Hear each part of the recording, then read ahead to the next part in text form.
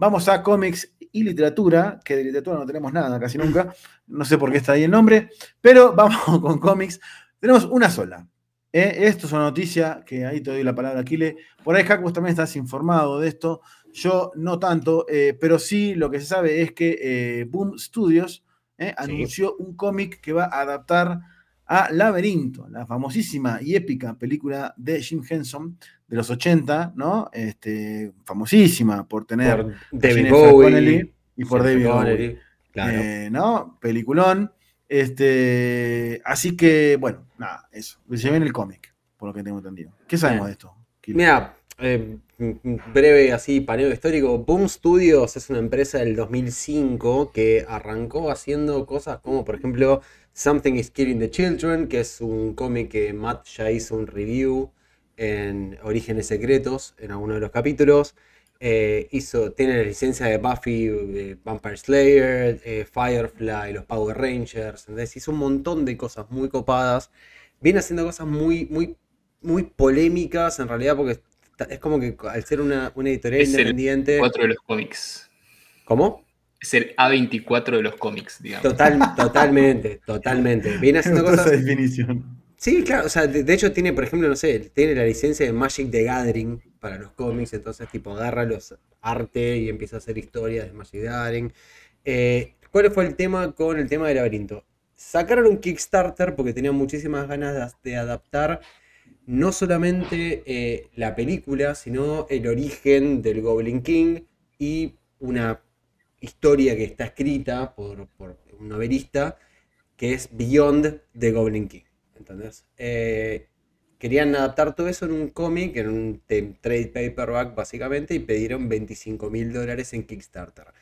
Hoy, en este preciso momento, están ellos en 394.134 dólares de 25.000 que habían pedido originalmente.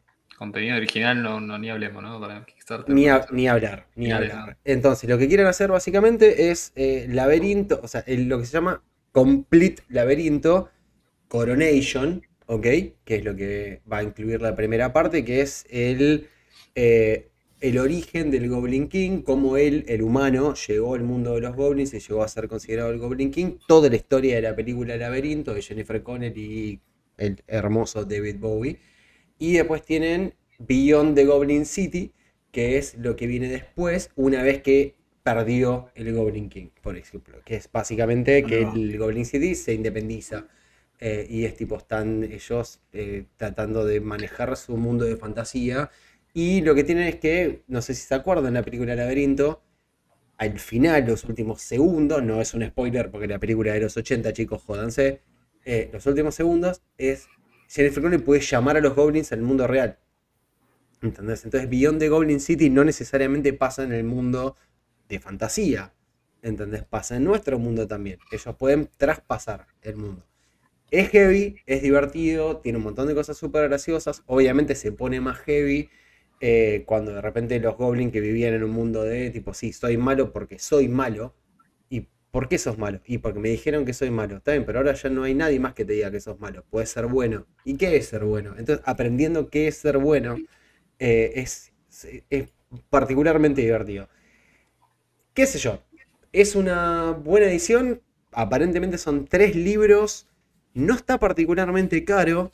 Eh, está hay un escritor que se llama Ryan Ferrier que escribe para Rick and Morty, escribió para los Power Rangers también en su momento, en los finales de los 90, escribió para Buffy, está escribiendo ahora en, eh, para lo que es eh, Wizards of the Coast y Magic the Gathering, eh, que está metido en todo esto como para poder adaptar una novela y unos cuentos cortos en toda esta aglomeración de imágenes. El arte es bastante agradable, está bastante bueno y aparentemente, si vos haces una donación de 40 dólares al Kickstarter, te llevas no solamente eso, sino gratis el próximo libro que saquen, que no sabes cuál va a ser. Mira, ahí va. Eh, Hablo sobre algo que no conozco, me acabo de enterar, o sea, con la noticia de ustedes, pero para mí lo maravilloso del laberinto era es Bowie, es eh, lo que la música. la música, lo que hicieron a sí. Jim Henson. Gráfico, Concuerdo, concuerdo completamente. es la magia del laberinto, pero, pero, y esto tengo que decirlo, el universo creado por Jim Henson está bueno como para explotarlo por ahí en, otro, en otra rama, ¿no? Digo. Eh, Pasa que también Jim Henson tiene otros universos muy copados, ¿entendés? ¿El o sea, cristal no es de él también? Eh, ¿no? Sí, el, cristal oscuro. Dark Crystal, bueno, Dark Crystal. Es hicieron re heavy, man. Y no le fue muy bien, ¿no? No. Creo que también hicieron, no sé si lo dijiste vos, Gil, esto, pero esta marca hizo, ¿no hizo un cómic también? Eh, de Dark Crystal. No, no lo tengo en el radar, boom. No, ah, no, tengo, no tengo Dark Crystal en el radar. Es muy posible, eh, no tengo en el radar. Pero, a ver, Dark Crystal, eh, Labyrinth, etc. Más, o sea, la gloria acá es Jim Henson. ¿Entendés? Que fue llevar esas, esas, Muppets. Bueno, pero eh, eso, al tipo lo destacás por los Muppets, lo destacás por esa cosa de. No sé si lo llevas a un cómic, vas a por. O sea, no digo que no sea interesante el universo que creó y todo lo demás, pero creo que lo lindo de ese tipo de contenido era justamente esta parte física y palpable que tenían sus marionetas, ¿no? Yo considero que no. Es un producto que, que se aprecia 10 veces mucho más que fue pensado para televisión, con todo lo que eso conlleva. Eh, para televisión, para cine, digo, ¿no? Me refiero eh, a, para verlo en una eh, pantalla. Es un producto audiovisual, Seba.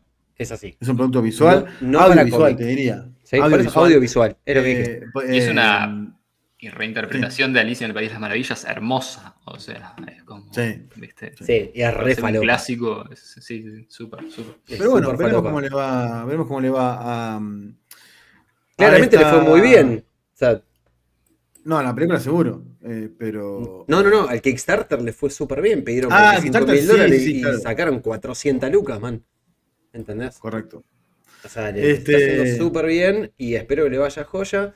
Ojalá podamos ver algo, pero nada, nada jamás que puedan hacer de laberinto va como. Y, acá me pongo en el tren de Hack. No, no le va a ganar a David Bowie, a Jennifer Connelly, jamás. ¿Entendés? No hay nada que puedas hacer que supere a eso. Es un hito esa peli. Bien, perfecto. No, no, pero con que le vaya, bueno, con que le vaya más o menos bien, está bueno. Yo creo que sea el laberinto, más allá de la recaudación, digo que después este, eh, en la venta de los cómics y todo le, vaya bien. Bueno, bien, eh, cerramos. Además de cómics en este caso. No sé si hay alguno de DC, de Marvel, no nos importa. Seguimos. Gracias eh, por haber llegado hasta acá. Si estás viendo en YouTube, denle like, suscríbanse, comenten, por favor, compartan también y dejen su opinión acerca del cómic de Laberinto, si les gusta la película, si lo leerían también, ¿por qué no?